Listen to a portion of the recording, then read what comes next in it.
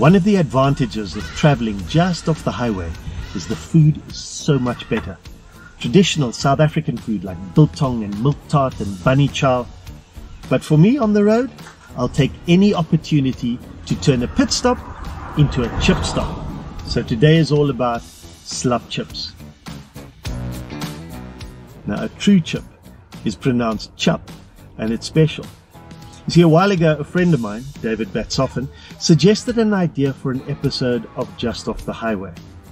He knows the suburb of Linden in Johannesburg very well, and he helped us source a great place for traditional South African slap chips. Now, I want to say right from the beginning that we paid for everything that we bought. We didn't get anything for free. And this is not actually a competition because everybody I know has their own special posse for slap chips. So support your local slap chip emporium. Otherwise, this local delicacy faces extinction from an onslaught of frozen, pre-cut, pre-packaged invaders. Now, I wasn't looking for anywhere pretentious either, because the best slap chips are made where hard-working people buy their lunch. And so, we went to Gregory's in Linden. It's rightly famous amongst slap chip connoisseurs as the place for long chips.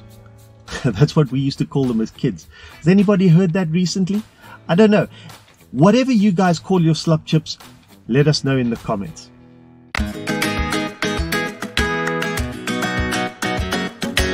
Obviously, in any in industry, um, experience is key. Uh, in this case, I believe I do have an upper hand being Portuguese.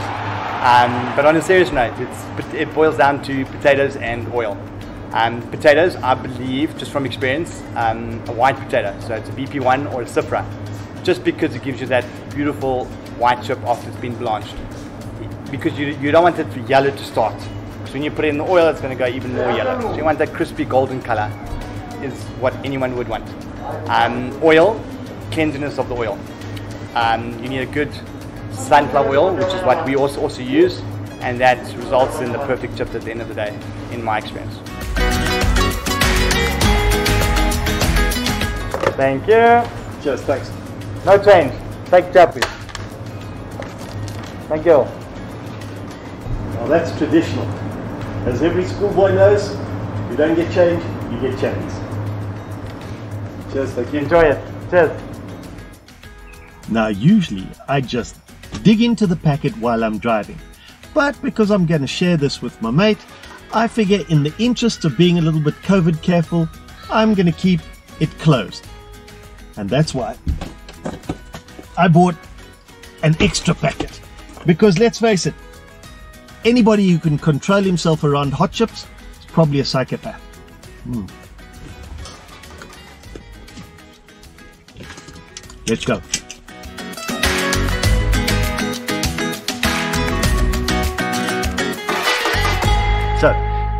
Before we tuck in, I'd like to introduce the instigator of this episode.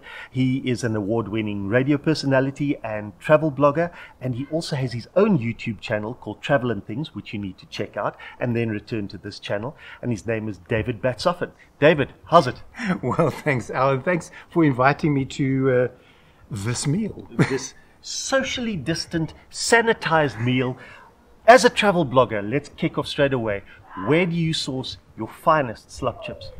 When when I thought about this, I was thinking wherever I lay my hat is my home. Wherever I pick up slap chips is the best. But for me, it's Kalkies in Kalk Bay. It's just the ambiance and everything that goes with partake. Because because there is a whole I don't know nuance when you eat chips. It can't just be slap chips in a in a packet or something like that. There's got to be something else, and they've got it. Ah, now you see, I'm a bit of a purist there because for me, slap chips in a packet is the best thing. Listen, tuck in. I don't know whether you are a salt or a salt and vinegar person, Yeah. or whether. Uh, do you remember that old uh, book about South African English called Abigos? Ambiguous, yeah. Abigos. Rawbone Milan. That's right. and they referred to a condiment as martyr's horse.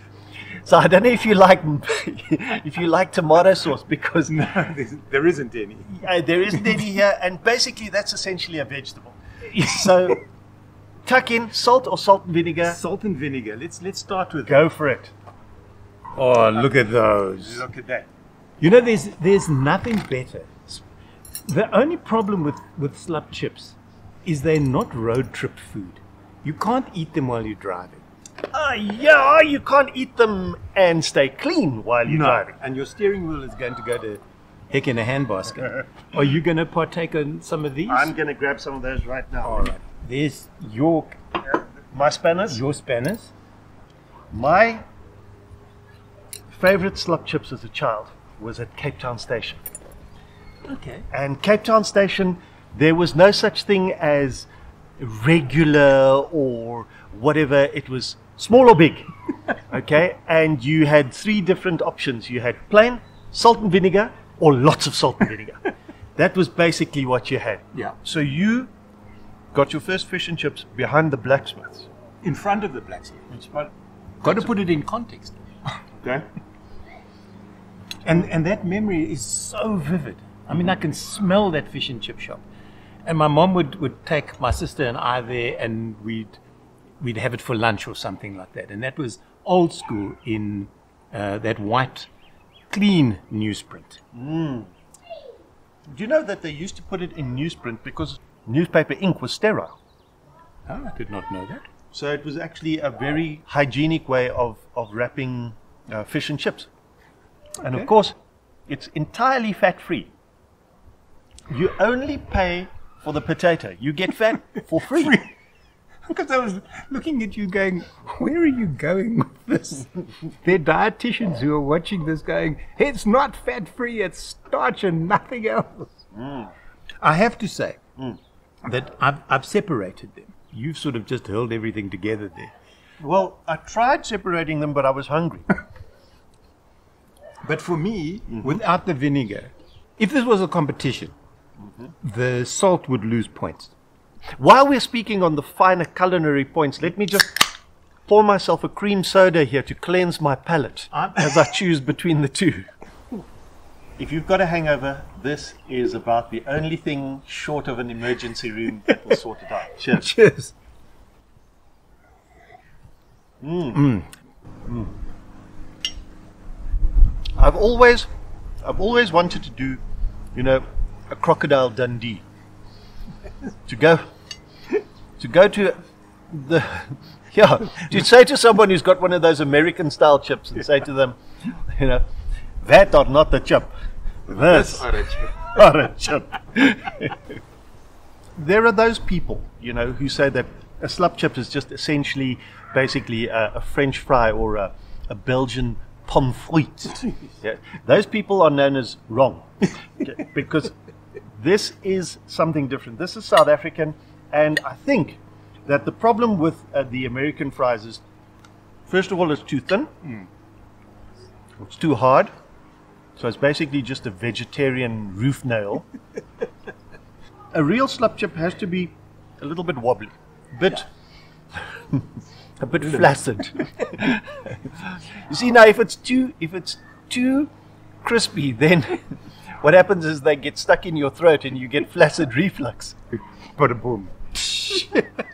So as we wrap up the interview, let's raise our glasses to the humble, fantastic potato and to the slap chip, the best thing that you can make out of a potato, other than vodka. Cheers. Cheers. So that's it. Time fries when you're having fun. Thanks to David Batzofin for the idea. Check out his blog, Travel and Things, for tons of useful travel information. And if you've enjoyed this detour just off the highway, give us a like or a comment. If you'd like to discover more offbeat South African stories with me, please subscribe and be sure to click on that bell so that you get notifications whenever I post a, a new episode. Usually about once a week. Thanks also to Gregory's in Linden for allowing us to film on the busiest day of the week. And thanks to Marcel Hamilton for her hospitality. So we ended by contemplating the greatness that is the slup chip. Chips are informal, cheerful, a little bit rebellious. They're quintessentially South African. So hey, I'm not fat, I'm cultural.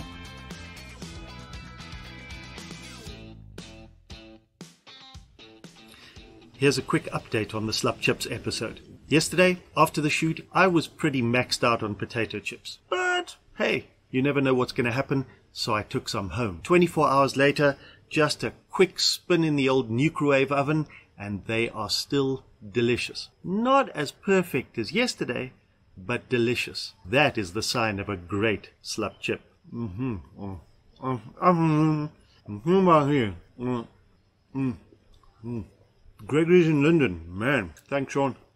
What? No, you can't have any. Go away. Mm.